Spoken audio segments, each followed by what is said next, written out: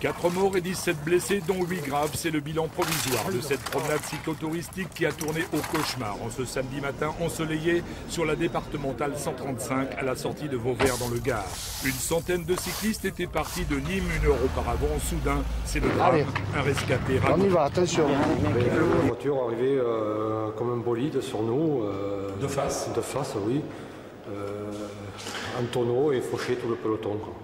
À ce moment-là, vous avez le souvenir de quoi? Qu'est-ce qui vous reste comme souvenir quelques heures après là? Qu'est-ce qu'il me reste? Il me reste le, le- le carnage après le choc. Quoi. Tous les, les- les- les- vélos, euh, les gars là, en pleurs au milieu. les- Vous avez le sentiment d'un excès de vitesse, la voiture qui venait ou- Ah, il me semble, oui. Ah, oui. D'après les premiers éléments de l'enquête, la voiture conduite par un jeune homme de 20 ans roulait à vive allure. Il en aurait perdu le contrôle avant de faucher le dernier groupe composé de 20 cyclistes.